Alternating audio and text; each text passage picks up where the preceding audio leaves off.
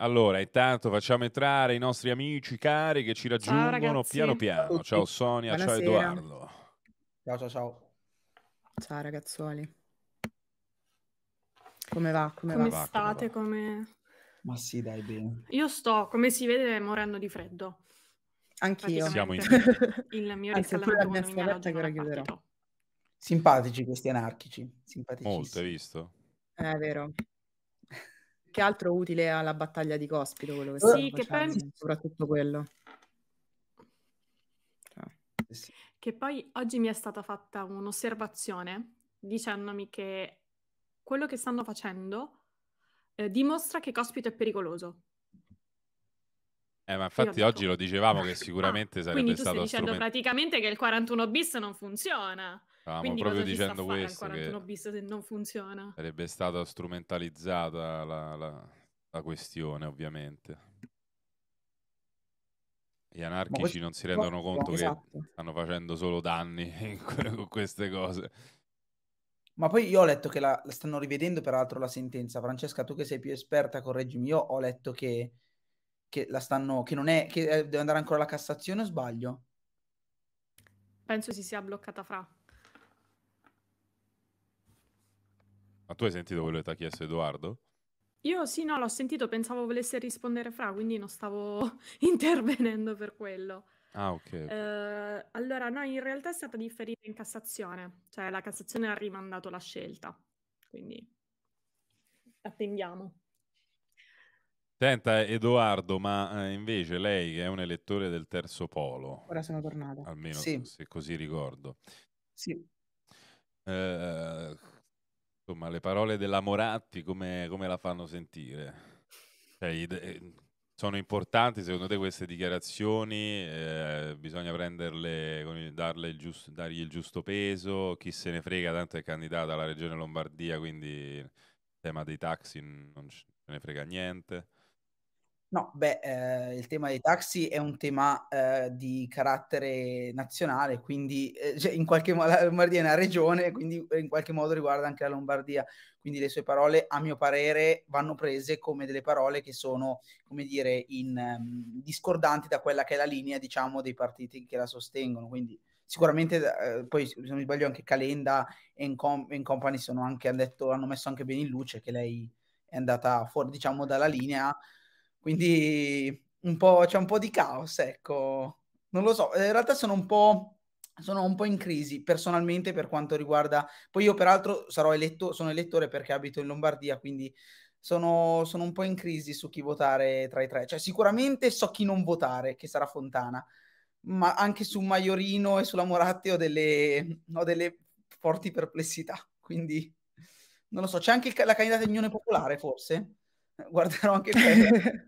Guarderò anche Guarda, comunque siamo sulla stessa barca, eh, perché pure noi nel Lazio c'è un- veramente tanta carne al fuoco. Sì, sì, sì. Oggi abbiamo visto il dibattito, era abbastanza... Io, io mi salvo, Tragica. posso dirmi non fiera di avere Marsilio come presidente di regione. Mamma mia. No, sarà veramente difficile votare. Andare a votare no. Sì. Votare sarà un alt- Chi votare sarà una bella scelta. Boh. Ma Esattamente. diciamo che anche il PD sta facendo un po' di castronerie, almeno a livello di comunicazione. C'è anche tutta la vicenda di Gianrusso, fa un po' ridere. È vero, è vero, pure sta roba allucinante. Agghiacciante. Il mitico Se lo posso dire, o Giarrusso. sono modi da squadrismo. Che poi si sono praticamente passati la patata bollente e quindi sembra che nessuno l'abbia invitato Gianrusso. Quindi Hello. Gianrusso si è presentato lì così, come se niente fosse. Ciao Luca Matteo. Il nostro Giarrusso, Buonasera. Luca Matteo. Quanto sei felice di avere Marsilio come presidente di regione? Tantissimo, tantissimo. Eh. Quasi, quanto, quasi quanto il pensiero dei suppli che mangerò stasera. Il riso si sta freddando. Il nostro cuoco provetto, hai preso il posto di Delli. No, è che ho visto un video di Franchino il criminale e quindi mi è venuta voglia qua a Milano, ovviamente qualunque video di Franchino è utopia, cioè che con 5 euro a Milano ci entri, mm, ci, ci entri nel locale metro, forse. e quindi sì, è un sacco di amarcord quando rivedo. Ah, sei un fan di Franchino? Sì, non ho seguito bene tutta quanta la polemica, però a me piace, piace il suo format, eh, piace quello che fa, quindi... Molto bene. Fuori, 30 sub, Eh. via. Che si diceva di Gianrusso del PD? Mamma mia, mamma mia. pensi? Sì, dicevamo ne che si erano passati la Devi patata avere proprio la faccia come il culo, devi avere proprio la faccia come il culo. Io spero che lo chiamino alla zanzara. Come te? Non l'hanno fatto stasera, se non lo stanno facendo, anzi stasera. Sbo. Luca Vetta non mi ha sentito. No, No, Dicevo alla faccia il poi. culo come te. esatto. Dai, lo sai che esatto. ti voglio bene in fondo in fondo, però... No, ne- nessuno, nessuno come me, nessuno come me. senta Comunque no, sì, diciamo che è stata una settimana Delli. tranquilla. Sì, abbastanza, su- Senti Luca Matteo, tu che ne pensi dell'uscita della Moratti? È una... L'hai, l'hai letta? Quella sui taxi? Ah sì, ehm, sì, sì, sì, sì, l'ho letta. Che dire, che innanzitutto mi sembra non troppo in linea con eh, il pensiero del, del partito che l'ha candidata, se non, se non sbaglio, cioè, Direi di no. eh, in termini, in termini di liberalità, eccetera. Poi che dire, eh, se vuole prendere i voti dei tassisti, cioè mi pare palese, mi pare proprio palese e questo, cioè, si vuole prendere i voti dei sassisti e quindi fa sta dichiarazione che ovviamente non, non ha né capo né coda, specialmente nel, nel lasciarle ai, ai figli. E spero che Italia Viva e, e Azione dicano qualcosa, la redarguiscano. Ma in realtà Ah, c'è sì, il hanno tweet detto di che Calenda. non è la loro posizione, Ah, che è la posizione di Moratti, ma No, non è la posizione del partito.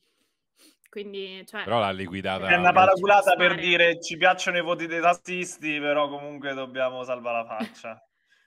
Diciamo che l'ha liquidata, l'ha liquidata molto in breve Calenda, secondo me insomma, Esatto. doveva, doveva dire qualcosa in più, dai.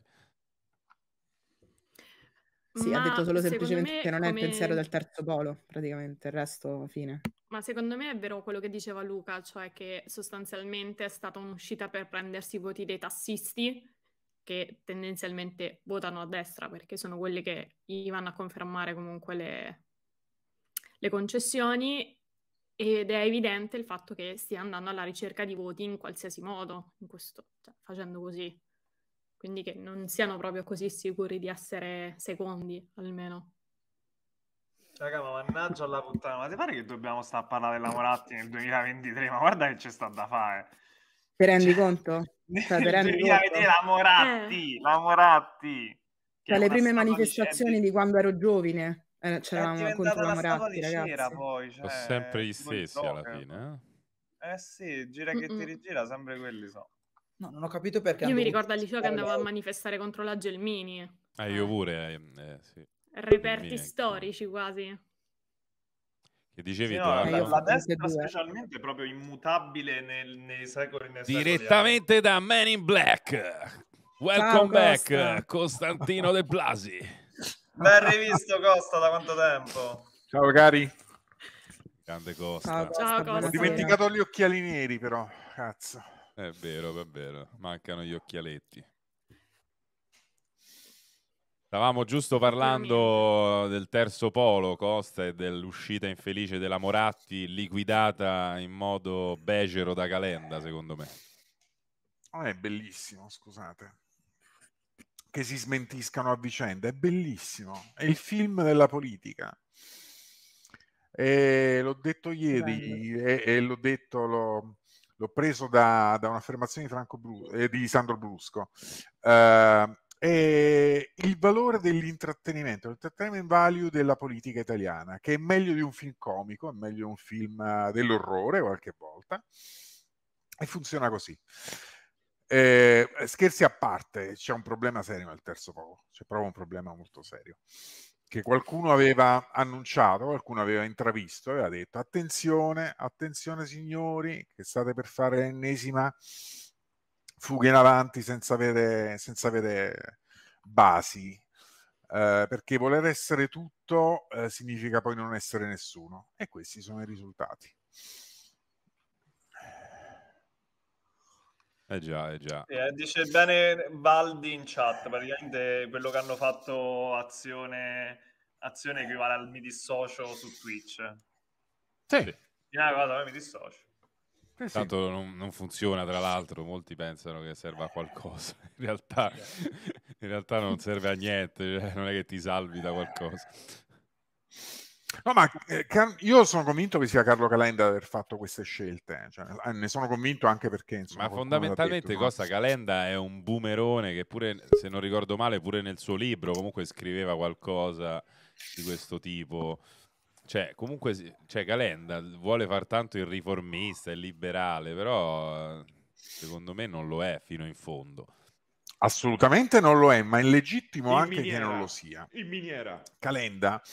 Allora, io sono stato il 14 di gennaio, o sono stato, ho seguito perché non ci sono andato. Il 14 gennaio ho seguito buona parte della convention della Costituente Liberal Democratica no? che si è tenuta, in cui c'erano anche Non ti Renzi. sei perso niente dal vivo, Costa, te lo posso Sì, assicurare. sì, sì, sì, immagino. Poi ci sarei anche potuto andare, però ho detto il trade-off fra il cercare parcheggio e ascoltare alcune ore di, di dibattito è negativo, per cui ho preferito restare a casa. Poi- Però mi sono ascoltato. Poi dibattito era Dibattito no, giusto, una hai ragione. di, di buone Sì. intenzioni a cui molta gente applaudiva senza capirle. Sì, sì, sì, sì, ver- verissimo, verissimo. Eh, quindi però mi sono ascoltato i discorsi più interessanti, almeno quelli che in prospettiva potevano essere più interessanti, ovvero quelli dei promotori dell'iniziativa, quello di Renzi e quello di Calenda. E poi ho anche ironizzato su come Calenda ha trattato il povero amico Carlo Alberto Carnevale Maffè, chiamandolo cardinale, e, insomma, e massacrando la presentazione che aveva fatto Carlo Alberto, che poi può essere giusta, può essere sbagliata, però in pubblico, soprattutto quando sei in un consesso in cui non hai avversari, ma hai persone che sono lì perché hanno un interesse, dovresti risparmiarti certe uscite. E, e- e- Calenda ha detto nel suo intervento, noi non siamo liberali, mi spiace deludervi, noi non siamo liberali, noi siamo liberali, riformisti, socialisti, democratici, sturziani, popolari, che è esattamente quello che sta facendo Calenda da quando ha deciso di fare il partito, cioè essere tutto ed essere niente, perché sta cercando di prendere a destra e a sinistra. Da destra che cosa arriva? Arriva una roba che neanche lontanamente è liberale, nonostante 30 anni di proclami e di, e di buone intenzioni espresse. E poi lo si vede con la, con, la, con la Moratti che dice non soltanto che bisogna difendere i tassisti, le licenze dei tassisti che sono costate sacrifici e sangue, ma bisogna pure consentire ai tassisti di cedere le licenze ai parenti e agli amici. Cioè, ma, ma vi rendete Sì, conto? quella, Ma por- quella è la cosa più assurda. Eh. Perché difendere i tassisti lo fanno in tanti, è un piccolo bacino elettorale che difendono. E vabbè, ma addirittura che lo difendono fino a, a- a stabilire che, che le licenze taxi devono diventare un, eh, parte dell'eredità. Eh, no, non lo so, non lo so davvero. Che poi cioè, si lamentano tutti del fatto che i taxi, magari per andare in aeroporto o comunque per muoversi, costino tantissimo. Però poi quando c'è effettivamente bisogno di fare qualche affermazione per dire ok, mi lamento e ti do anche magari una soluzione alla mia lamentela, non, nessuno che si prende la responsabilità di dire ok, liberalizziamole, facciamo qualcosa che si è dimostrato essere funzionante, anche magari prendendo l'esempio di Trenitalia ed Italo. Cioè, quanto funziona bene la concorrenza in quel settore lì? Da quando c'è? Per l'alta velocità, non per il resto. Non lo so, eh, non lo so. 80 euro un biglietto, da cioè pago meno per andare a Londra che per andare a Roma da Milano, non lo so.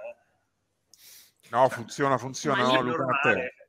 Quella è un'altra Funziona. cosa. Luca, un'altra cosa. Luca, vuoi che ti mostri Ma in treno vai a Londra? Bologna-Roma? Eh? Io ho pagato il biglietto Bologna-Roma 4,90 euro con Italo. Certo, se ti organizzi a per me tempo, mi sfruttando anche Trenitalia le che offerte e le tempistiche non costano tanto, dai.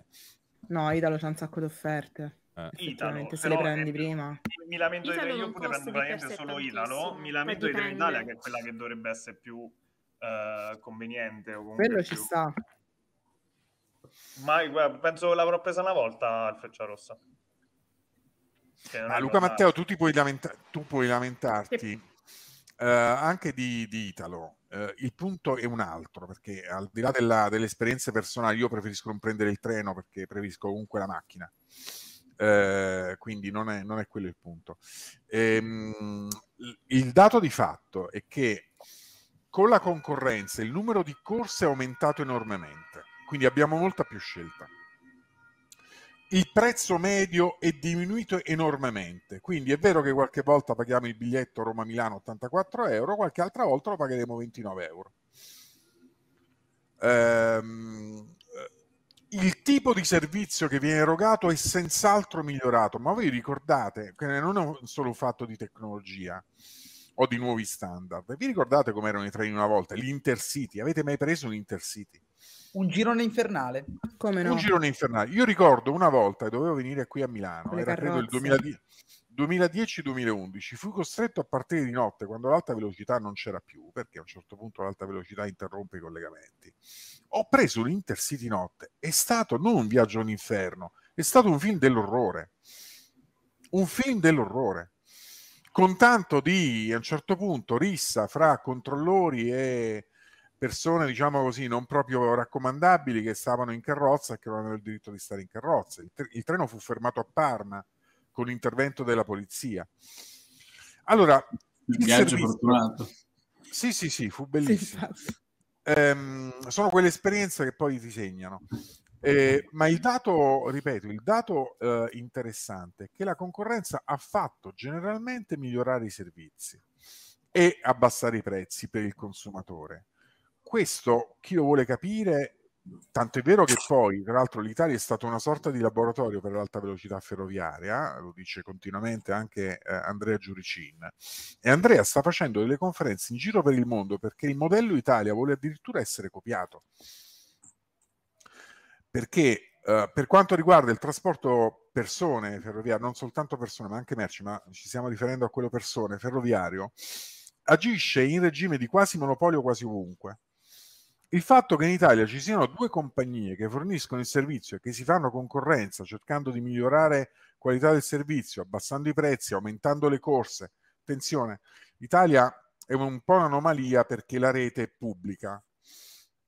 No, abbiamo due vettori, uno pubblico, anche se un SPA, e un altro privato, ma la rete resta di proprietà pubblica. Il modello Italia viene eh, studiato e copiato nel mondo. Poi si può fare sulle licenze taxi? Io dico di sì. Mm, le licenze taxi sono una cosa strana. Comunque torniamo poi al terzo polo, dai, che mi voglio sfogare un po'. Perché Anche Allora, perché poi lì, eh, dico l'ultima cosa e chiudo riattaccandomi a Costa, c'è anche poi da parlare del noleggio con conducente, che è una cosa diversa, cioè L'NCC. ci sono tante implicazioni diverse rispetto alla rete ferroviaria che può essere presa ad esempio, ma non è proprio la stessa, la stessa cosa. Poi io non, ho- non riesco a, a comprendere all'atto pratico cosa porti diciamo, la destra a non voler eh, liberalizzare le licenze taxi, la questione dei balneari, cioè, tutto ciò che si potrebbe lasciare al libero mercato, loro non lo vogliono lasciare al libero mercato. È il bacino elettorale. Eh. Sì, ma, sì, ho capito, ma ragazzi, ma di, quanto, di quanti elettori, cioè quanti tassisti Sì, ci ma sono non in credo che sia l'elemento Quanti discriminante. sono? che- 10.000 tassisti? Sì, Tu- sì. quanti- non lo so, No, io sto... vero, vero, vero. Eh, Datemi ma un sono- non numero. sono- non Datemi li un prendere solo come persone, cioè Però come... come lobby e poi Esatto. secondo me non è un elemento che ti fa decidere di non votare la destra il fatto che, cioè almeno alla maggior parte degli elettori di centrodestra non, fa, non è un elemento discriminante per far sì che non votino il centrodestra il fatto Sono che- d'accordo. quindi a quel punto balneari, No, quanti sono sti balneari? Che, quanti voti possono spostare, eh, ragazzi, ai termini di, di un'elezione politica, i balneari? Ma è Quello che più- non più in capisco, onestamente. lobby, Lì, se- lì non è un discorso di spostare voti, secondo me, lì è una questione economica. C'è qualcuno che prende le mazzette da sta gente, secondo me. Eh, perché Non se no non me lo mazzette, spiego. però favori però- è possibile. Favori o comunque me- un certo status, sono d'accordo. Sì, sì, e non esiste un'altra, non so come dire, un altro bacino che abbia interesse contrapposto, se non il senso dei cittadini, sostanzialmente. Eh, bravissimo Lorenzo, il punto è esattamente questo, secondo me. cioè, da una parte ci sono gli interessi dei balneari, dei tassisti, di tutte le corporazioni, io preferisco chiamarle così, no? che difendono legittimamente i loro interessi. Quindi da una parte c'è un interesse certo, dall'altra parte c'è un interesse che non è misurabile e non è certo, che è quello dei cittadini. Avete mai visto un sondaggio in cui, fatto in modo più o meno serio, in cui si chiedeva ai cittadini che cosa vogliono? Quei sondaggi non vengono fatti. Eh, invece quello le sulle armi viene fatto. Solo quelli a- sulle armi, sì, sì, quelle che poi servono a una certa dialettica politica. Ehm, Con domande fatte di merda. Anche, anche. Eh, l'interesse del consumatore o del taxpayer, del cittadino in generale, che deve avere dei servizi eh, in cambio delle tasse che paga, non viene mai misurato. Non viene mai misurato. Quindi di fronte all'interesse certo di un gruppo che è coeso, che, che è pronto a scendere in piazza oppure a fare caciara per le strade di Roma e di Milano e di Torino e di Bologna, eh, rispetto all'interesse, una volta si diceva la massa silenziosa, una roba del genere, la maggioranza silenziosa. La maggioranza silenziosa. La maggioranza silenziosa, di parenziana, che poi non è un'espressione di Parenzo, adesso non mi ricordo chi la coniò. Eh, di fronte all'interesse della maggioranza silenziosa, che di solito è silenziosa e quindi non si esprime, eh, alla fine che cosa sceglie il politico? Sceglie di, fare, di difendere l'interesse del- di chi organizzato fa caciara, eh, anche se sono 10.000, anche se sono 5.000. Capito? Perché dall'altra parte non c'è un corpo di persone che dicono: Oh, io voglio i prezzi bassi e voglio uscire dalla- dall'aeroporto. Voglio uscire dall'aeroporto e trovare il taxi senza dover smadonnare. Capito? Non c'è quella roba lì. Quindi manca la concorrenza anche negli interessi dei cittadini. Ed è sbagliato perché se i cittadini avessero un pochino più di coscienza si ribellerebbero e direbbero: Oh, le licenze, eh, il lettino al mare non devo pagarlo 50 euro. Eh, Sì, sì, vabbè. il lettino al mare mi viene in mente la Sant'Anché e il Twiga. Cioè, Eh. ma di che stiamo a parlare? Ma, ma- Quello è, è al limite, al limite del conflitto di interessi. Eh? eh, sì, sì, sì, lei poi dice che è Molto affidato, limite. Si è liberata, si è liberato, non mi ricordo quale Sì, formula ha ceduto le quote, tipo. ha ceduto le quote, sì, ma vedrete che Sì, poi si scoprirà che... compagno, credo. O, insomma. Per cui... Non erano a Briatore proprio, Non lo so, non non- ma non, lo- Vabbè, diciamo che non l'ho No, seguita sì. tantissimo. è un pro forma. non che sia estranea rispetto a Briatore, però. Di certo non credo che mo la Sant'Anché si mette a fare gli interessi delle spiagge libere o delle cose. Quindi, No, no, ha che detto, sono ha detto fascia. Esatto, esatto, ha detto anche quello, quindi per favore. Che poi, almeno per le licenze dei taxi, cioè c'è chi poi magari non lo vuole fare più che la rivende e chi l'acquista paga tantissimo, anche sui 100.000 euro. Quindi lì se vai a liberalizzare, a- ad inserire più licenze e quant'altro, eviti anche quelle- quegli acquisti lì che non sono fatti proprio... Comunque a tutti gli effetti, per la mia esperienza a Milano, non so quanto i milanesi siano, anzi i miei colleghi in ufficio, perché ho fatto, faccio ogni tanto dei mini sondaggi, in realtà sono contrari a Cioè, Uber, sondaggi? sono a favore dei taxi, vogliono la comunità, vogliono la professionalità. Ma non so quanto può essere, non ho capito Francesca. No, sono affascinata da questa cosa che somministri sondaggi al lavoro. Assolutamente sì, assolutamente sì. Ok, figata. Cioè, No, Luca ma Matteo, che, di- che dicono cosa, i tuoi un'altra cosa colleghi? divertente, eh, scusami Costa, un'altra cosa Sì, sì. divertente è che tra i due del terzo polo preferiscono Renzi. che Calenda è visto come il bombolo romano, capito? Quindi tra i due di solito uno Ah. preferisce sempre Calenda a Renzi, invece a- qua a Milano preferiscono Renzi. No, Almeno non mi io. Ma sorprende perché è più eh. radicato, se ci Non mi pensi. sorprende. Guarda, Luca Matteo, io sono, abito molto vicino a Milano e sto a Milano abbastanza spesso. Ti posso dire che eh, con i miei coetanei mh, non è proprio così. È vero che il servizio No, taxi... no, dai, io parlo di persone No, più grandi. capire che a- a, il servizio taxi a Milano funziona bene, però mh, questo non, non motiva il fatto che non ci possano essere Uber o così via. No, ma io parlo infatti di, di, cioè, ad occulti colleghi, non, non coetanei. Anche perché poi lì molti citano anche il fenomeno di BlaBlaCar come esempio del fatto che comunque potrebbe funzionare bene il tutto. Eh sì, con una una serie di recensioni e quant'altro. Cioè, voi vi fidereste a, politica. Voi vi Sì. fidereste a salire nell'auto di qualcuno che non conoscete, però, cioè, lo conoscete perché avete letto le recensioni e quindi ci sono altre persone che vi dicono sì, no, guida bene, è consigliato. No, io, Io io continuerei a prendere i taxi, io continuerei a prendere il taxi piuttosto che Uber, però sono a favore del... Ma io BlaBlaCar l'ho presa, però peraltro ho fatto una tratta parecchio vasta perché sono partita dalla provincia di Cuneo e sono arrivata a Roma, quindi insomma direi che ho fatto un bel Wow. viaggetto. Anche Però un, anni mio, e anni anche un fa. mio amico lo usava spesso. Io l'ho No, usato moltissimo BlaBlaCar, più come autista che come passeggero, ma l'ho usato veramente tantissimo. Eh, infatti E io conosco un sacco di persone che lo fanno come autista, cioè visto che Sì, sì. partono, giustamente condividono il viaggio.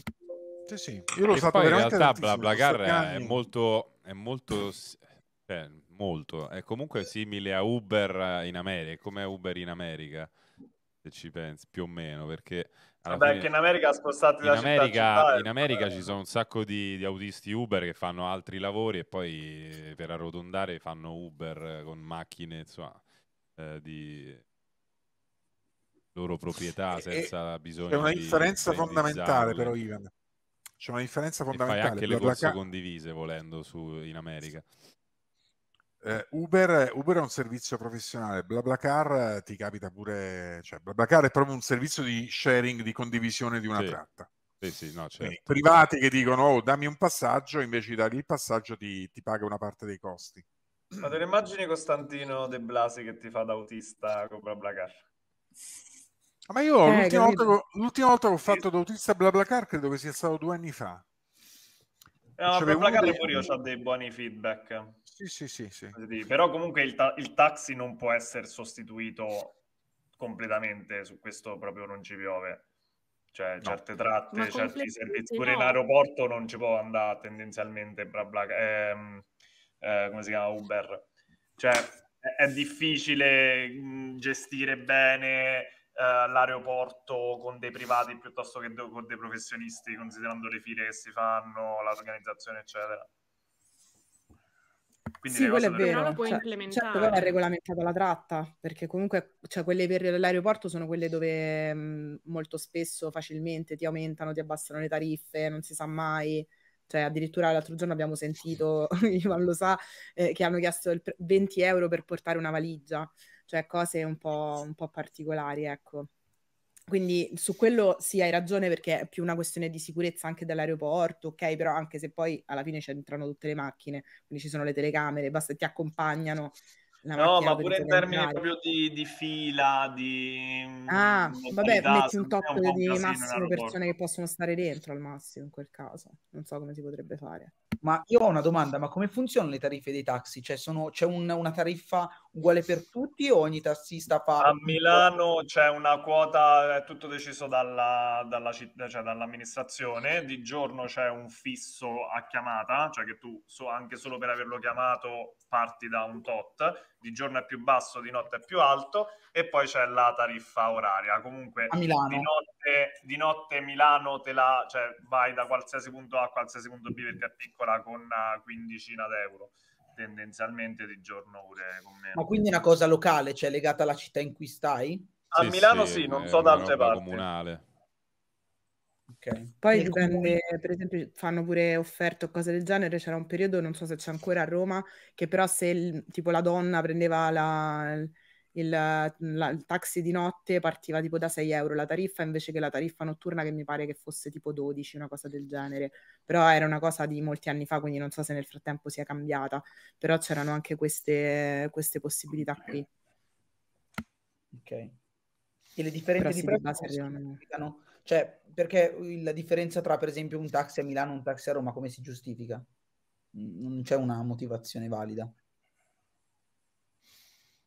Ma non so come lo stabiliscono, sinceramente. Non, ti, non, non, lo, non lo so, immagino, non lo so, veramente no. Su questo sono ignorante. Credo che ci sia una, una sono tariffe controllate, suppongo. Eh, non lo Penso so. dipenda anche dal, dalla città, cioè nel senso a Milano ci sta che costi di più la tariffa oraria perché è molto piccola, quindi se la facessi costare come Roma che è sterminata, tendenzialmente una corsa la pagheresti troppo poco per essere economicamente sostenibile.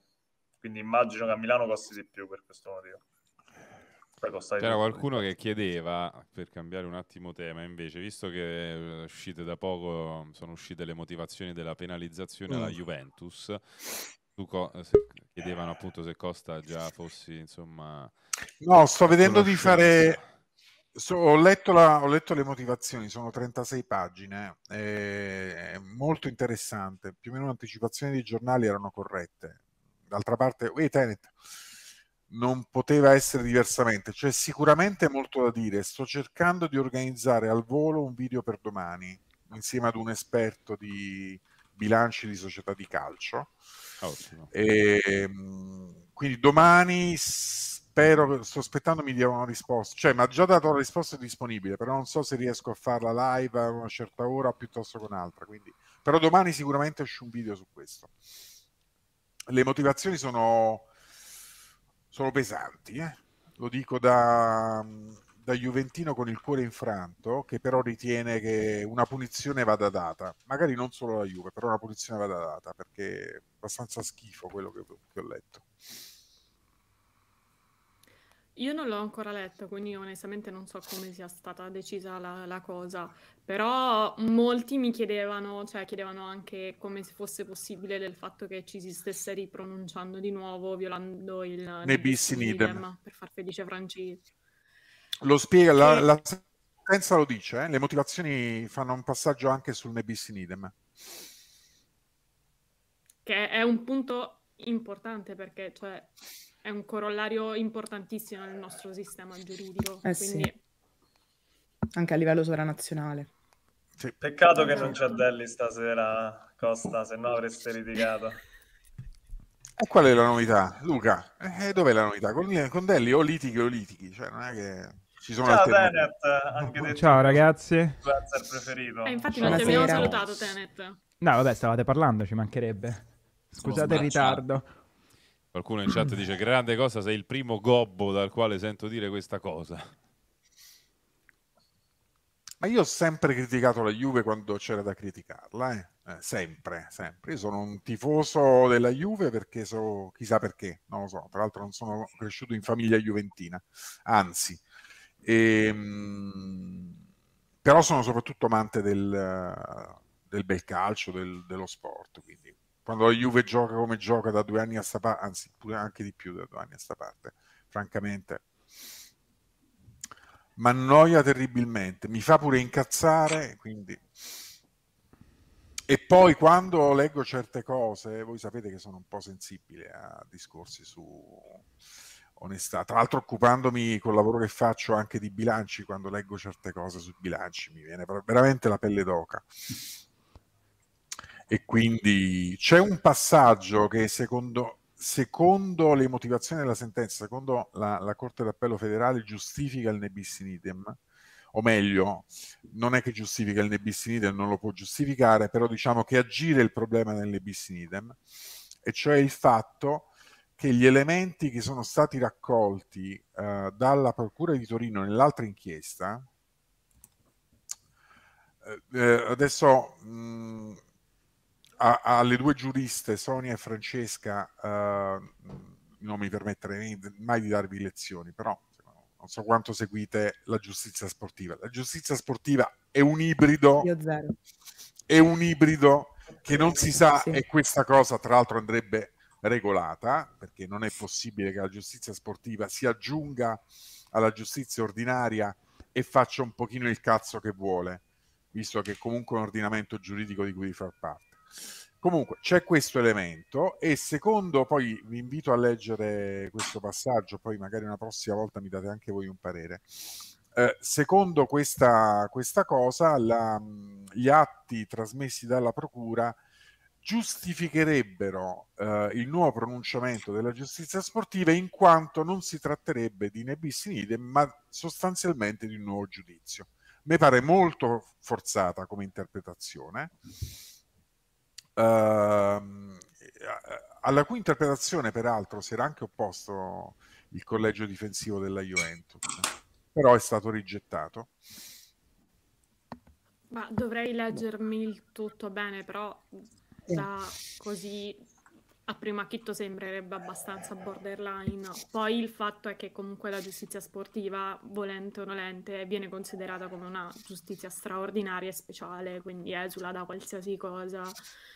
E questo era anche quello che quando mi hanno detto ma ti pronunci sulla Juve, raga, io di diritto sportivo so neanche come si tira una palla, quindi cioè, non, non è proprio il mio tema, non è il mio ambito, non mi pronuncio, però...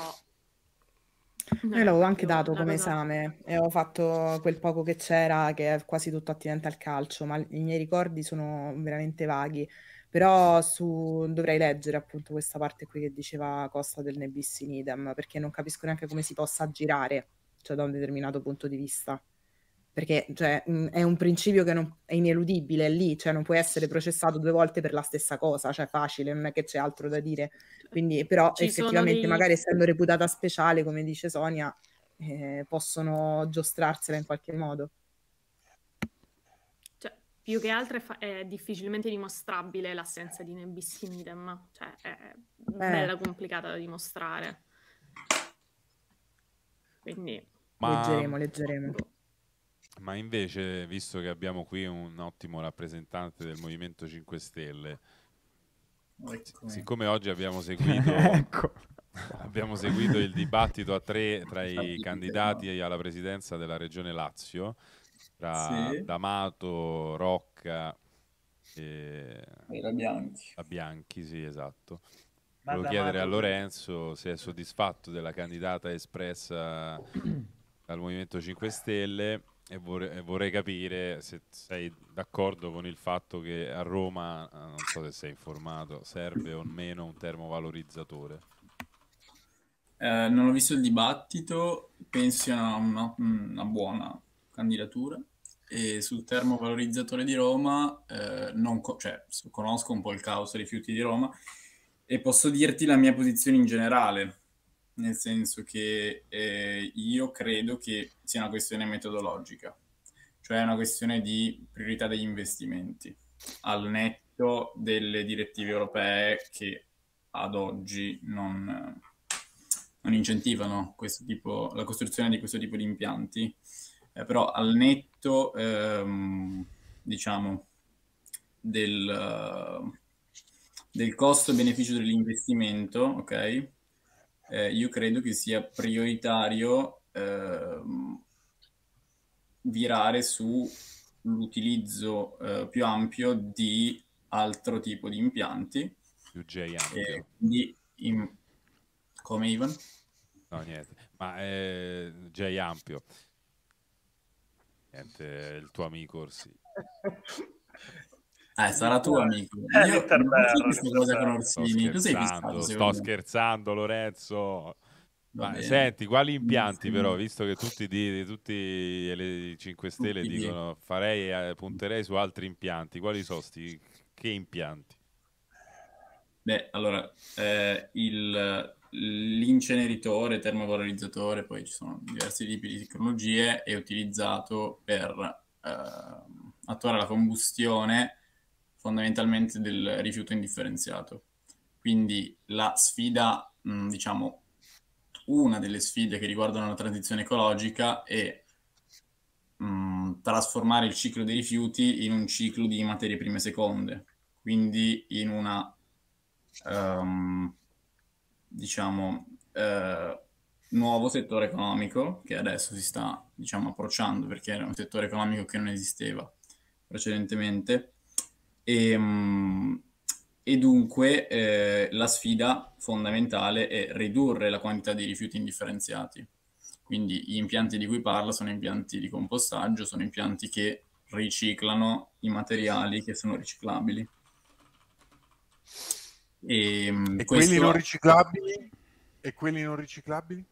E quelli non riciclabili, mh, mm, allora, a lungo termine, medio-lungo termine, e, ehm, mh, questo, uh, questa questione, secondo me, dovrebbe essere risolta attraverso la riprogettazione dei materiali e dei prodotti.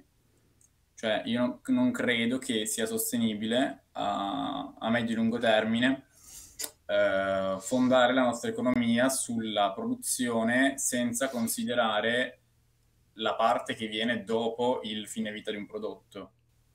Ok? Eh, a breve termine, oggi, ehm, secondo me, un, un numero eh, di, cioè, di, termovalorizzatori sono eh, necessari, diciamo, a, per non... A, per gestire il rifiuto indifferenziato. Questo non significa che tra eh, 15 anni dovremmo puntare a mantenere questo stato dell'arte.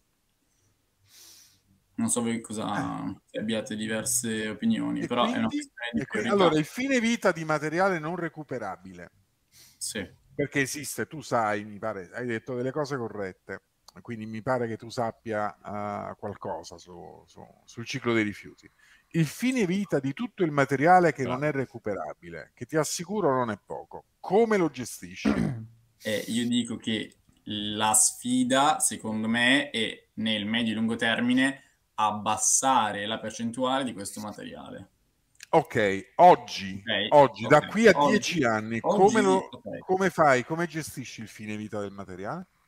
Io credo che ehm, cioè, vada fatta Mm, secondo me un'analisi complessiva e, e, e, spiego questa affermazione, nel senso che anche credo la candidata non abbia escluso in toto la possibilità di un termovalorizzatore, ma abbia detto che non è l'azione prioritaria. Cioè noi in Italia siamo abituati a considerare una soluzione come eh, salvifica, ok? E questo secondo me è un approccio molto semplicistico di affrontare determinate questioni. Cioè io magari. credo che... Yeah. No, scusa, ma magari ogni tanto in Italia considerassimo delle opzioni come salvifiche, non si fa mai niente.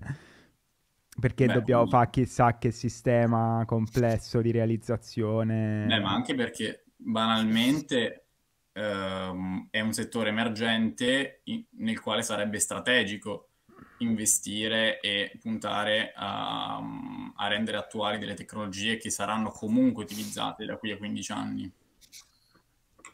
Quindi mi sembra... Senti eh, Lorenzo, leggo, leggo, virgolettato, Donatella Bianchi, no all'inceneritore nel Lazio sarà il primo obiettivo di Donatella Bianchi, la quale dice poi non c'è solo in gioco l'impianto romano, l'impianto laziale, ma c'è in gioco una scelta programmatica su scala nazionale.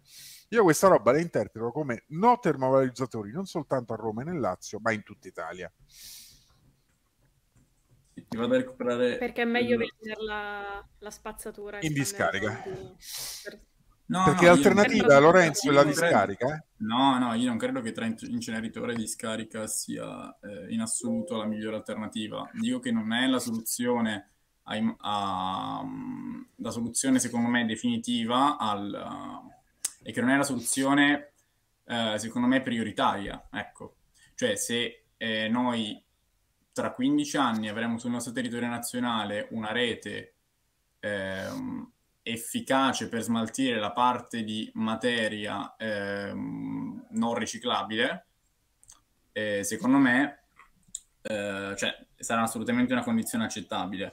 Però il fatto di eh, in, investire in un, un impianto, ok, ad oggi implica il fatto che io programmo di volerlo utilizzare per far sì che questo investimento eh, venga perlomeno ripagato. Quindi questo è automaticamente un disincentivo a investire, ad esempio, nella raccolta differenziata. Non è vero, Ass- questo è assolutamente sbagliato. Perdonami, assolutamente Perché? sbagliato. Perché Mm. la raccolta differenziata è indispensabile all'utilizzo dei termovalorizzatori. Indispensabile. Non riesci Perché, ad utilizzare... vengono, Allora, vengono ti, ti spiego come vengono mescolati. No, i Quello che termovalorizzatori viene- non possono essere mescolati. Quello che viene bruciato è un mix di rifiuti. Allora, un è un, è un mix di rifiuti che deve avere determinate caratteristiche sì. chimiche, fisiche, meccaniche. Se E tu vengono- metti tutto dentro il termovalorizzatore, il termovalorizzatore si ingrippa, lo dico in modo brutto, ok? Non funziona e non brucia. Sì, No, serve una miscela specifica che però mh, tra le componenti ha materiale plastico, diversi tipi di materiali. No, no, no, no, no, no, no, no, no, no. Allora, ti ripeto, ti ripeto, il termovalorizzatore funziona a valle del ciclo dei rifiuti soltanto dopo che è stata fatta la raccolta differenziata. Nei termovalorizzatori c'è un meccanismo che ti assicuro qualche volta ho visto utilizzare a mano, letteralmente, in cui c'è, ok, in cui c'è la separazione che prende il mix Esatto. di rifiuti e li brucia. Esatto. Esatto. Ma infatti Allora, io sto dicendo... quindi se non fai differenziata, tu non puoi mettere tutto nello stesso sacchetto e pensare però- che c'è un termovalorizzatore che bruci, non lo puoi Ma fare. invece di mandare la differenza, cioè invece di riciclare la differenziata che faccio, io la brucio. Questo è il ragionamento. No, no, sbagliatissimo, no, non è questo il ragionamento. E vengono riciclati. Allora, ci sono materiali che vengono riciclati. Per esempio, se nel sacchetto, o meglio, nel sacchetto, no? nel, carico che viene scaricato all'interno, prima che il, il materiale passi per il tritovagliatore, ci sono elementi plastici. Adesso non, mi- non sono un chimico e non mi ricordo quale plastica in particolare, però ci sono, come sapete, ci sono forse centinaia, forse migliaia di tipi di plastica diversi. Se ci sono alcuni tipi di plastica, questi tipi di plastica vengono dalla procedura, dal procedimento meccanico, che si chiama TMP, vengono separati e avviati ad altra destinazione, anche quella del riciclo. Però il punto fondamentale è che, anzi due punti fondamentali. Primo, non c'è termovalorizzatore senza raccolta differenziata. C'è una componente, secondo punto, una componente che non può essere smaltita eh, se non attraverso discarica o termovalorizzazione. E su questo siamo d'accordo. Ok? Allora, poiché e c'è questa componente non può essere recuperata in nessun modo se non attraverso recupero di energia. Allora, a questo punto, l'alternativa eh, a chi non vuole termovalorizzatori o inceneritori, per me potete pure chiamarli inceneritori, eh, non, non è una cosa che mi spaventa, l'ho detto più volte anche qua da IVA, non è una cosa che mi spaventa chiamarli inceneritori perché l'incenerimento è un processo. Poi che cosa c'è a valle dell'incenerimento è un altro discorso. Sì. Il punto è recuperare calore o di energia oppure ridurre la frazione non, non recuperabile eh, in modo che possa essere smaltita più facilmente e con meno impatto ambientale. Ok, queste sono le tre fasi, queste sono le tre destinazioni. C'è questa parte che non può essere recuperata in alcun modo, che o la smaltisci attraverso la termovalorizzazione oppure la smaltisci attraverso la discarica. E delle due, quella che ha impatto ambientale più pesante è nettamente la discarica, oltre a tutta una serie di problemi che sono legati ai costi, legati al trasporto, legati alla saturazione, legati ai costi di smaltimento, legati alle truffe, perché esistono, e voi lo sapete, esistono discariche che vengono chiuse perché dentro ci buttano qualunque cosa. Certo, sì, sì. Però io credo che la sfida ad oggi sia quella di minimizzare il numero di impianti di termovalorizzazione piuttosto che investire in nuovi impianti. No, il numero è quello di fare il numero di impia- impianti, intanto impianti che abbiano, come dire, capacità di stare in equilibrio ehm, economico. Quando non so se ve lo ricordate, qua- non so se ve lo ricordate, poi parlo di queste cose perché me ne sono occupato professionalmente. Ho amministrato per tre anni una società, ho amministrato per tre anni una società che stava proprio nel settore dei rifiuti. Ehm, quando qualche anno fa Salvini, proprio in visita nel Lazio, disse, era prima del 2018, credo fosse il 2016, disse ci vorrebbe un termovalorizzatore in ogni provincia, in ogni città. Disse una enemerita cazzata, come spesso gli succede, perché i termovalorizzatori hanno uh, un'elevata intensità di capitale e quindi per poter uh, ammortizzare il capitale devono smaltire grandi quantità di, di, di, di, materiale, altrimenti non stanno in piedi. Uh, per cui la strada è quella di fare un numero giusto, non elevatissimo, di termovalorizzatori. Adesso non so quantificare se ne bastano 30 o 40 o 20 o 10 uh, in Italia, um, e impianti mediamente grandi, che sono anche quelli più controllabili, tra le altre cose. Però il termovalorizzatore serve, oltretutto produce calore ed energia, di, sì, cui, sì, abbiamo una...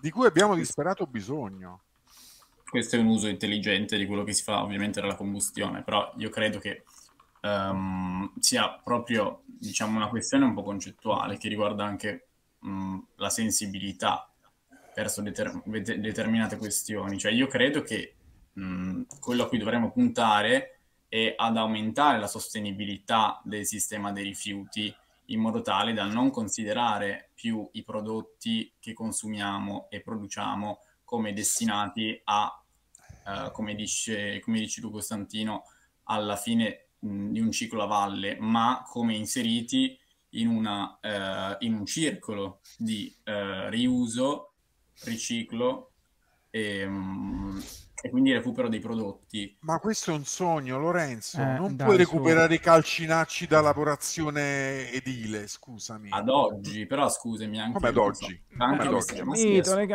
perché esistono, ma scusate, esistono gli eh. sfalci, gli sfalci, da potatura delle città, no? Perché abbiamo gli alberi che ogni tanto vanno sfalciati. Come pensi di recuperarli? Ci fai le capanne. Scusate, no, vabbè, perché sennò qua cioè, vogliamo no, tutti la pace nel mondo. Dirò, cioè, va bene. Però se, se, se, mi dici, no, se mi dici è una questione di approccio, è una questione di approccio. Cioè, no, va bene, per carità. Un intero mercato che si sta creando in questo settore e noi continuiamo come facevamo 50 anni fa a dire vabbè che facciamo con gli sfalci, buttiamoli in un inceneritore. Ma non l'abbiamo fatto 50 anni fa, se no non staremo a parlare di inceneritore oggi, scusa, ci avremo gli inceneritori, non l'abbiamo fatto. No, Tenet, non si arrabbi. No, scusate, sono stanco stasera, veramente, no, perdonatemi. Più che trovare nuovi modi. No, no, c'ha ragione, c'ha ragione. Il ragionamento è, obiettivamente, cioè se oggi non esiste una soluzione... No, scusate. Se oggi non esiste una soluzione, eh, però, cioè, ad oggi stanno nascendo le tecnologie di cui abbiamo bisogno in questi, in questi campi. Cioè adesso n- non so per quanto riguarda gli sfalci, e ovviamente Costantino sarà miliardi di volte più informato di me, però è una questione di approccio. Ok, però scusa, sì, cioè, quali sono? Mi dici, eh, no, perché io sono curioso, sono ignorante in materia, cioè, per carità, eh, io non so, cioè, quali sono questi... Eh, ecco, che, che tipo... No, però per capire che tipo di investimento alternativo dovremmo fare cioè che non sia rivoluzionare l'economia mondiale su una base di economia circolare a 360 gradi, ripensando le catene del valore mondiali che, che, che poi avranno come esternalità positiva quella di risolvere il problema dei rifiuti a Roma. Cioè, quali, quali sono, che tipo di tecnologie? No, eh, no. Sì, sì, no, sì, perché tu ne hai coscienza più di me, evidentemente, se sai che dobbiamo fare un altro tipo di investimento alternativo a, all'inceneritore. Sia, sì, credo che questa qua sia una priorità, cioè nel senso esiste questo settore che si sta sviluppando. Quale? E... Scusa, io perché sono ignorante, cioè non te lo faccio. Il co- settore del, mh, mm, diciamo, del post-consumo dei materiali. Quindi tutto quello che eh, mira a ehm, utilizzare la materia prima esausta sostanzialmente, quindi i, i, prodotti, trasformarli in nuova materia prima.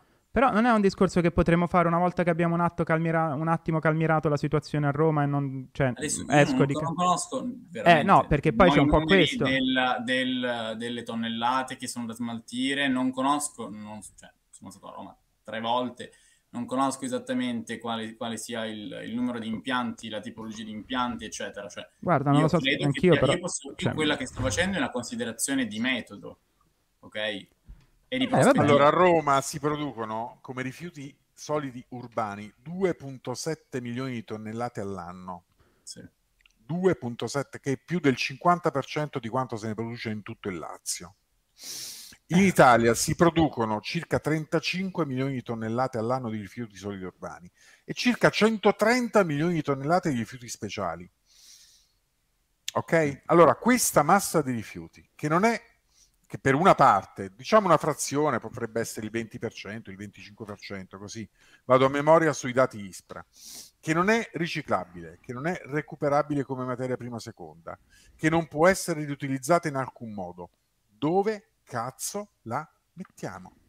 Eh, la risposta che deve dare il Movimento 5 Stelle una tecnologia che li renda la ris- esatto. renda... eh, ma così ce la teniamo per strada però eh, posso fare un discorso becero cioè No. Nel senso, la risposta, eh, scusami Tenet, chiudo. Sì, sì, la risposta che deve dare il Movimento 5 Stelle perché non c'è, no, non, credo, non sta per strada, credo perché non esiste un inceneritore, cioè, nel senso...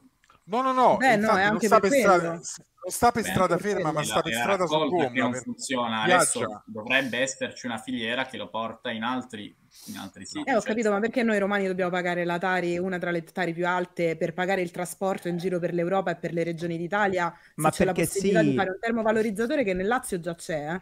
In provincia di Frosinone. Francesca, poi magari perché qualcuno, va bene così. È lo stesso motivo per cui importiamo l'energia nucleare dalla Francia, capito? È questo sistema esatto. di, far, di, far, girare l'economia a 360 gradi. Magari Scusate, qualcuno da no, fuori scu- Roma poi... Scusa, Lorenzo, Magari sì, qualcuno però, da fuori Roma poi ce lo porta, ce lo porta a noi. Anche. Ci porta a noi i rifiuti e ci danno pure i soldi. Boh, non lo so, non so di quanto volume Allora, di se scambi ti posso dire una cosa... Se ti No, ma vorrei capire cosa ha detto Francesca. a- Cioè, sul, detto- sull'inceneritore di Frosinone non viene Che utilizzato. esiste un termovalorizzatore nel Lazio, è quello di Frosinone, cioè quello di Frosinone, non in realtà è di San Vittorio, non è di Frosinone perché è molto più a sud, però non è abbastanza per coprire tutti il fabbisogno del Lazio. I dati che diceva Costantino sono giustificati dal fatto che Roma praticamente ha quasi la metà della popolazione del Lazio, quindi noi non Certo. possiamo fare un raffronto preciso con le altre province, visto che Vabbè, solo la poi- città di Frosinone ha 55.000 abitanti, capisci, rispetto ai 3 milioni e mezzo c'è un attimino di differenza. Però noi dobbiamo Non avevo capito se avessi detto sottoutilizzato o non sufficiente. No, no, no, quello è molto utilizzato. In realtà, cioè, eh, portiamo anche parte dei rifiuti di Roma. Poi, come dicevi tu, c'è anche un problema sulla raccolta e su quello assolutamente d'accordo, perché lì Ok. c'è un problema anche di raccolta da parte della società che gestisce la raccolta dei rifiuti, tra presenze, assenze, assenteisti, assunzioni e quello che sappiamo. Certo. Però c'è anche da dire che quando le vanno a recuperare, quando le vengono a prendere, dove le portano? Più poi c'è il problema educazione romani, insomma, a bu- non buttare il materasso che Sì, non ho visto una bottiglia schiacciata in due anni. E poi dice che se... che Ma guarda, Luca, ma più. te fosse quello il problema. Non vanno schiacciate. Ah no, vanno schiacciate e non vanno a forni. pallottolate. Esatto. Cioè, capisci? No, Cioè, eh, vabbè, diciamo che i romani, potre- i romani prima di lamentarsi potrebbero fare un po' di più, diciamo. Ah, beh, beh, beh, beh, beh, beh, Vabbè, buoni, buoni, buoni. Andiamo a riprendere. Po'- qualche dato. Non è proprio così, Luca Matteo, mi dispiace su questo. Vi ho, vi ho messo in chat uno degli articoli che ho scritto sulla questione del termovalorizzatore, partendo proprio da Roma. Poi ce n'è uno più vecchio e anche un pochino più, ehm, sì, più lungo fondamentalmente, che si trova su Noise from America. Ecco qui Noise from America e ve lo metto in chat. Ci sono un po' di dati. Devi mandarlo a Rick, a Ricky. Ah sì, perché i- link in chat non, non si vedono, Costa. O me lo giri a me, lo spammo io. o- Ah, ok. Lo giro a te, lo giro a te. Ok, ok, grazie. ok. Peraltro, per Ah, rispondere io a l'ho messo però da, Matteo, io l'ho messo da Twitch, eh. Eh, domenica scorsa, se non erro, comunque sì, mi pare domenica scorsa, ci c'era la questione delle isole ecologiche, hanno raccolto un sacco di, di rifiuti, isole ecologiche aperte, insomma è stata un'iniziativa che è andata a buon fine, quindi ci sono anche romani che sanno fare, eh, sanno buttare l'immondizia, è da no, più che altro che aspetta, vivo Ma poi- più no, ti dico a- un'altra a cosa. Roma, ma se qualcosa anche- è cambiata allora è dovuta alla in aspettami un secondo, non posso stipulare che mi fa male la gola. No, il, dis- il discorso è pure un altro, che chi vuole rispettare le regole, chi vuole buttare l'immondizia, io te lo giuro, io ho una, una serie intorno al mio palazzo, ci saranno all'incirca cinque gruppi di secchioni, sono perennemente stracolmi e non sai dove metterla e molto spesso non no, ci puoi neanche arrivare a buttarla perché sta sul marciapiede, perché non la ritirano Perché i per romani giorni. riciclano troppo. Esatto, ricicliamo troppo, vedi, lasciamo lì a, a non lo so, a fare cosa veramente. Meno male che non è estate e non puzza. Comunque se Eh, il cartone con, con la pioggia si allora, ammolla.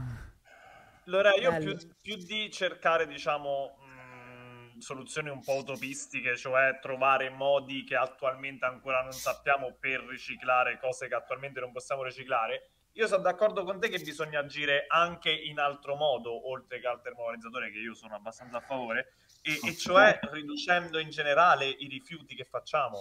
Assolutamente. Facciamo veramente Su quello siamo tutti d'accordo. Assolutamente, ma io non dico i che... romani, eh, Va tutti bene. quanti. Cioè, bisognerebbe proprio ridurre gli imballaggi, ridurre le cose inutili. Quella è una cosa fattibilissima, ma che comunque risulta utopistica anche quella. Sì, ma sugli imballaggi appunto cioè, c'è una questione gigantesca che comunque costituiscono la maggior parte, non, non mi ricordo esattamente il dato, comunque de- della mole di rifiuti prodotti e mh, il fatto, il come vengono pensati, il come vengono prodotti, i materiali di- da cui sono costituiti, mh, determinano di conseguenza le tecnologie che, mh, che devono essere utilizzati per smaltirli.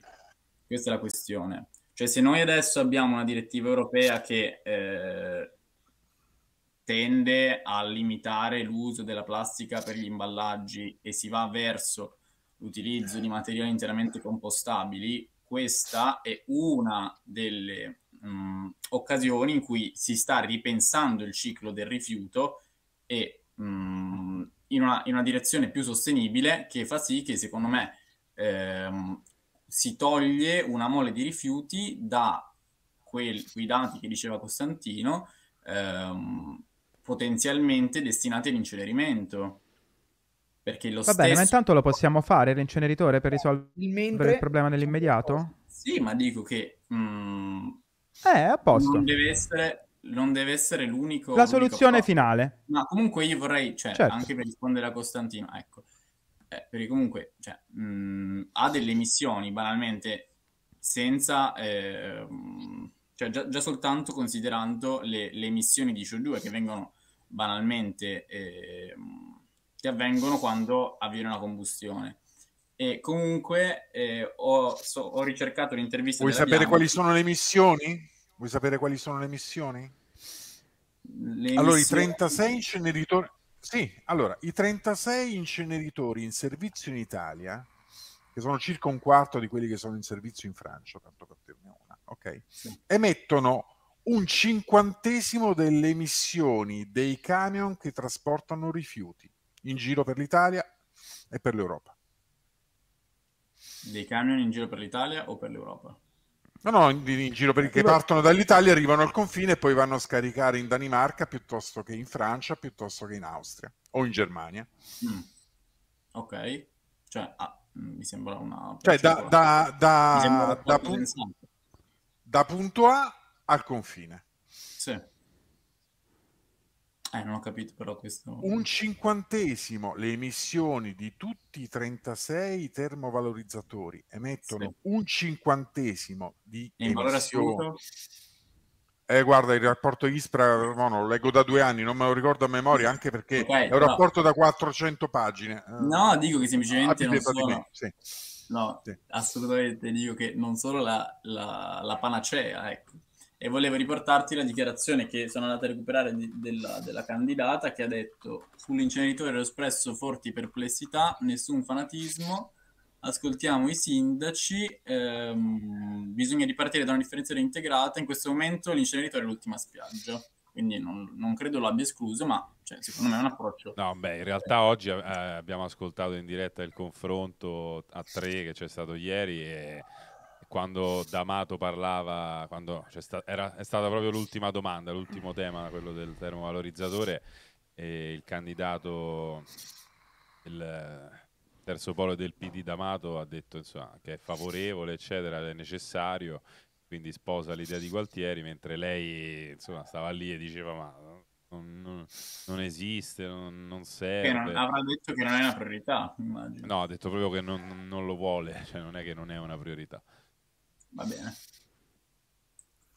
Addirittura il candidato del centrodestra ha detto che, che è necessario farlo. L'unica questione è che vorrebbe una risposta da Gualtieri sul problema della location, perché eh, Gualtieri vorrebbe allargare la strada dell'Ardeatina, dove andrebbero a passare questi 100 camion giornalieri, ma a quanto pare non è possibile farlo, quindi quest- questo passaggio di, di, questi 100 camion andrebbe insomma a creare veramente un casino eh, per la viabilità del traffico e su questo Gualtieri Vabbè, non, non sta questione... rispondendo. Questa qua però credo sia, cioè è una, è una questione organizzativa, cioè nel senso che si ha la volontà politica di fare una questione che si risolve, esatto.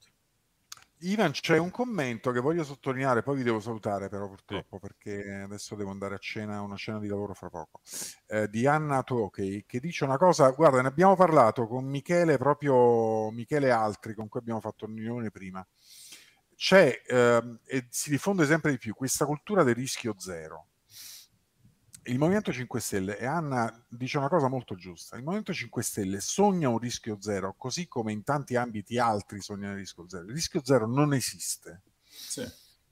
Dobbiamo metterci in quest'ottica, riguarda, riguarda tutto, a partire dal Covid, il clima, il rischio zero non esiste. I problemi vanno affrontati, i rischi vanno minimizzati gli impatti di qualunque tipo vanno minimizzati, le esternalità negative vanno minimizzate, ma non esiste nessun ambito della vita dell'uomo, altrimenti perdonate la franchezza e perdonate anche la volgarità, non dovremmo neanche fare le nostre deiezioni fisiologiche, ok? Perché anche quelle sono inquinanti. Eh, il rischio zero. Non Abbiamo parlato esiste. anche con Pax di questa cosa del rischio zero. Eh, beh, eh, Pax è bravissimo, tra l'altro. Io vorrei coinvolgerlo di nuovo perché è veramente bravo il dottor Pax. Eh, proprio su questo, tra l'altro, lui fa risk management eh, statistico, sì. quindi, eh, quindi è veramente molto, molto bravo. Per cui dobbiamo uscire da quest'ottica.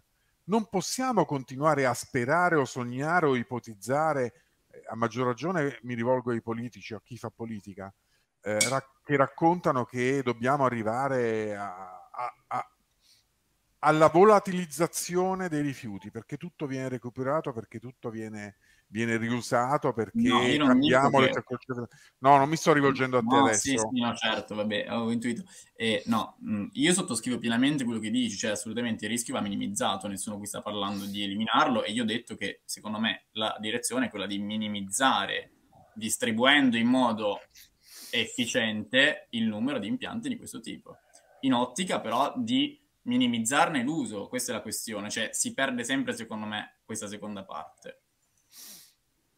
Ma Spero sugli inceneritori, direte... e poi vi lascio, vi devo lasciare purtroppo, sugli inceneritori l'unico rischio che si correrebbe sarebbe quello di um, ri, eh, impianti non controllati in cui Uh, manca, come dire, l'incentivo, almeno questo è quello che si percepisce, manca l'incentivo a fare la raccolta differenziata e il recupero dei materiali. Vi ho detto, e ripeto, chi avesse un po' di pazienza vada a leggersi i rapporti ufficiali dell'ISPRA, che sono estremamente analitici e fatti molto bene. Questo rischio non si corre, perché l'ultima cosa che si può fare in ambito impianti di incenerimento o termovalorizzatori è quello di evitare o minimizzare la raccolta differenziata e il recupero di materiali. Proprio non si può. Dall'altra parte, poiché l'alternativa per quei materiali che non possono essere recuperati è la discarica, invece in discarica è facilissimo che avvenga. È facilissimo che avvenga. Poi vengono chiuse perché il NOE è molto... Perché? Noi abbiamo una normativa in ambito rifiuti che eh, è durissima, però in discarica c'è un incentivo forte ai gestori della discarica, un incentivo molto importante a raccogliere di tutto, perché vi assicuro che i prezzi in discarica sono folli. Cioè chi ha in gestione o di proprietà discariche ha fatto negli anni passati i soldi veri, perché dentro ci buttavano di tutto e prima che venivano a controllarti ne passava, tu avevi già accumulato abbastanza patrimonio per dire vabbè fa niente, pagherò una multa, è convenuto lo stesso. Questo negli impianti di termovalorizzazione non può accadere, altrimenti l'impianto salta, si rompe. Questo vi sto dicendo. Sì, credo che mh, mm, il, cioè, il, rischio di cui parlo io prevalentemente è legato al, al livello di emissioni, che se in proporzione al, al numero di eh, tonnellate di anidride carbonica emessa dalla mole di camion, di tutto il trasporto nazionale può essere eh, risibile in termini assoluti è molto rilevante e um, quindi a, oltre a questo poi c'è comunque il rischio che è una probabilità, quindi non è eh, zero, però deve essere abbassato per un rischio che esiste, il rischio ad esempio di incidenti, che è questo che è un rischio che esiste per qualsiasi tipologia di impianto.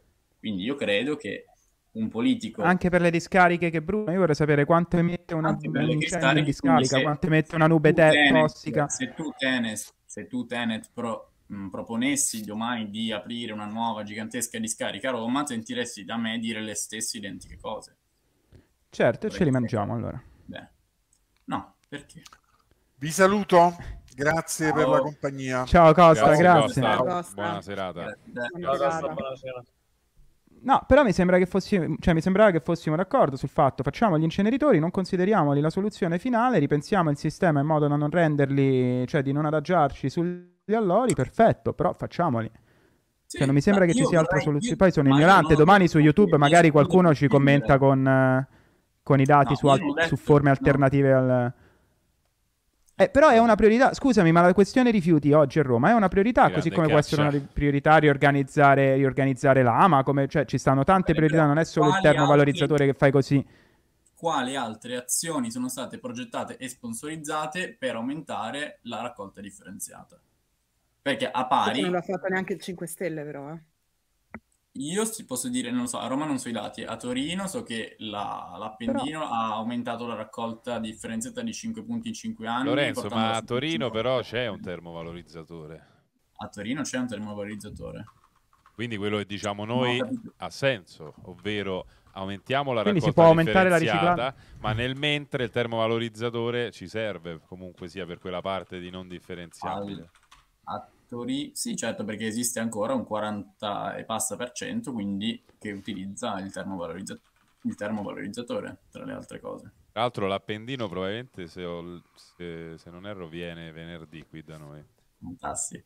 Sei contento e Lorenzo, comunque, la tua idola? Comunque, esatto. No, comunque, ehm, cioè, in prospettiva, ok, se noi immaginiamo di voler portare questa raccolta differenziata, come succede in alcuni comuni, a livelli alti, che sono livelli che poi sono imposti anche dal PNRR, quindi portiamo dal 70 all'80 il numero di per cento okay, distribuita sul territorio nazionale il numero di impianti di questo Guarda, devo fare una... scusa, scusa, Lorenzo, ma Scanna Capri ha regalato due abbonamenti a caso al canale e uno è finito a bustine a Nicola. Ah. e un altro a Luca Matteo. Non... Aspetta, non so se l'ha fatto apposta. Sto allora mi sa l'ha no, fatto apposta. Beh, due, se sono due... No, se sono due così Quindi non credo che tu guarda, possa sceglierle tutte e due. Scanna, l'hai fatto ah, casuale o è... è venuto a... Cioè, è assurdo, l'hai regalato a Luca Matteo a bustine. Dalla bestemmia mi sembra che sia casuale, però che è casuale, pazzesca. Lo conferma Scanna. Quindi... Vladimir, facciamo 10, Vladimir, 10, 10. Grazie donatore anonimo, grazie Peppuccio. È casuale. È casuale. casuale, pazzesco. Prego Lorenzo, prego. Qualcuno forse donerà per silenziarla per sempre, Lorenzo. Attenzione. Ma perché Luca Matteo non è abbonato soprattutto? Eh? Ormai Luca Matteo ci ha tradito. Già, già offro gratis a Ivan la mia presenza. Ogni Attenzione, Vladimir dona 10 abbonamenti per silenziare Lorenzo. No, Lorenzo, no, ci dispiace. No, dai, che... e di che parliamo poi? Dai, infatti, no. no, no. Un po' di pepe, vabbè. Ma sì, ma poi spezziamo una lancia a favore di Lorenzo che viene qui, argomenta, porta avanti delle idee che non condividiamo, ma che ah, comunque, perché sennò poi su YouTube gli dicono, eh, che sta a dire, eh, basta, eh. cioè, insomma, sì, sì, eh, fa parte del... Eh, no, noi ti vogliamo... Cioè, anche perché poi ogni volta è difficile trovare i sostituti quando Lorenzo, Jacopo, loro se ne vanno ogni volta quelli... Prima all'inizio eh, c'era sì. Bustine, poi c'è stato Andrea ah, Lombardi, ah, poi qualcun altro. Alla fine se ne vanno sempre tutti. Eh, no, no, Lorenzo rimane perché è coraggioso. Esatto. No, ma Lorenzo, Lorenzo alla fine va contro, va contro, cioè Lorenzo tu sei il meno grillino che conosco perché alla fine anche tu sei d'accordo che servono gli inceneritori in qualche modo. Ma io credo di avere una posizione ragionata semplicemente e non sì, credo no, che il talebanismo non credo che il talebanismo faccia bene a nessuna forza politica. Vero? Io credo che mh, ad esempio il centrosinistra su, questa, su questi temi non abbia lo stesso, ehm, la stessa, diciamo, ehm, cura e eh, interesse di eh, di determinate questioni come sia la questione della sostenibilità. Non lo abbia dimostrato perché se mh, comunque Gualtieri ha impostato ad esempio tutta la, uh, la sua azione politica in, in, questa, in quest'ottica eh, sull'inceneritore di Roma e io non ho visto, ma magari l'ha fatto e eh, non l'ho visto, non ho visto nessun piano organico per aumentare la raccolta differenziata, non ho visto nessun altro tipo di proposta piano di intervento della differenziata. Vabbè, a parte il, l'umorismo, però ehm, io non ho visto Siamo tutto in una questo. Gorà, Lorenzo. L'umorismo è all'ordine del giorno. Se non, se non Esatto. hai un po' di umorismo... Qualcosa aveva fatto la Raggi, aveva provato a fare il porta a porta, aveva fatto Sì, un po' aveva, di, di cose. aveva portato a un po' di quartieri, non so quante migliaia di persone, porta a porta. E... Ma dove? Adesso A Monti. Mannaggia. No, cercare. Peraltro, una- c'è da evidenziare una cosa che giustamente prima mi facevano notare in chat, che in alcune Vladimir, zone di Roma, lei comunque. eh. eh, esterne magari al raccordo dove ci sono i consorzi, ad esempio loro organizzano la raccolta differenziata perché ovviamente la gestione non è quella del comune. E, ca- e ci sono alcune zone in cui c'è la porta a porta, dicevano, solo che effettivamente questa cosa la sapevo e per quello anche uno dei motivi per cui hanno messo le telecamere eh, nei secchioni dove buttate l'immondizia, perché quelli che hanno la raccolta porta a porta spesso prendono tipo una mole di indifferenziata che magari quel giorno hanno dentro casa e la vanno a buttare nei secchioni in altri quartieri. Quindi c'è anche questa tematica qui da considerare. No, vabbè, quella però è Eh già, cultura. me l'ero eh, quella dimenticata, però è- c'è questa cosa. Comunque l'affermazione del mediano eh, la devo verificare perché non mi risulta. Mezza Roma e il porta a porta. Eh, C'è, c'è stato un momento in cui è stata coper- cioè, era coperto parecchio. Io credo siamo tornati un po' indietro, poi, però mh, parlo per... eh, cioè, bisogna cercare i dati e le, le info precise. Mm,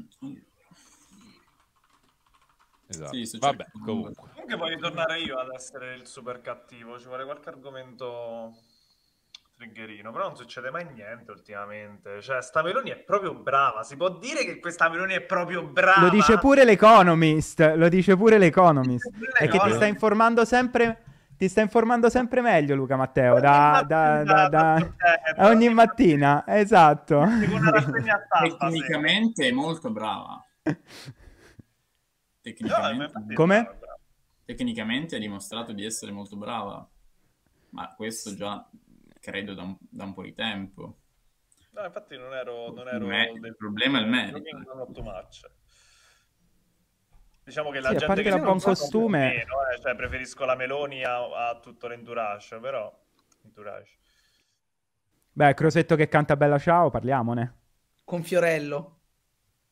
La- Con Fiorello. lo so perso. Eh, Ma Ma come ti, ti sei perso, ti sei perso Crosetto che canta Bella... Fe- fermi, fe- Ma quando? Ivan, cercalo subito, metti... Ma tipo l'altro giorno è andato a uno spettacolo di. Fiorello, cioè, si canta tre battute di Bella Ciao, ma anche con, eh, con ardore, con, eh. enfasi, con enfasi, con una certa Sì, sì. Quasi Eh, quanto la russa che dà, che dà le ricette della parmigiana. Ed è bello perché ha triggerato tutti. Ha triggerato i nostalgici dicendo che fai, no? Ma ce n'è uno anche meglio di, di video, se lo trovi proprio a- di quello che ha accanto.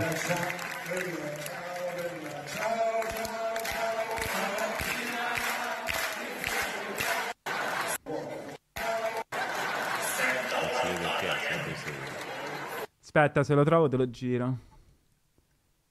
E... Su, su Instagram l'ha messo la Rai. Non so se... Aspetta.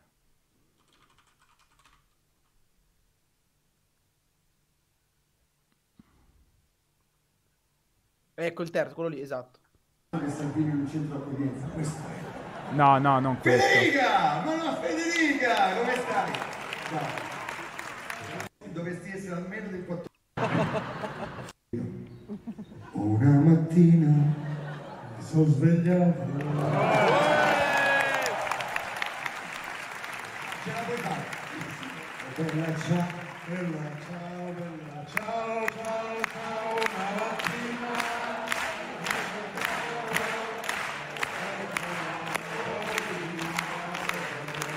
Vabbè, almeno, almeno non potranno più dire che Crosetto è nostalgico. Esatto. Infatti. Sta cazzo d'agenda Draghi, basta. A me l'agenda Crosetto Draghi. comunque non sta così antipatico, cioè, vi dico la verità, mi sembra un boomerone, eh, pure lui sui social non si muove bene, però... Sembra lo zio Fester. Vabbè, comunque ha delle competenze, cioè però Crosetto è probabilmente a livello di classe dirigente è, è una delle personalità più... Lui pure mi sa che aveva una situazione come quella della, della Santa Esatto, Chiesa. sì. Era advisor di Leonardo, se non sbaglio. Eh, sì. Esatto, Eh, sì. cioè, c'è un- una piccola... Vabbè, Però lì è ragazzi. sempre il solito discorso, no? Tra Io- competenza e conflitto. Ci saluti? Sì, direi di chiudere e andiamo a mangiare. Direi che basta così. Dai. Va benissimo. Ci vediamo lunedì prossimo, amici cari. Vedremo se Ciao ragazzi, ragazze. sopravviverà. Sì, Ma sì, Ciao, ma ragazzi. sì. Ciao. bene. Ciao Edoardo, Ciao, ciao. Luca Ciao. Matteo, ciao Tenet, Ciao. Lorenzo, ciao Franci. Noi ci vediamo Noi ci domani. vediamo domani alle 12.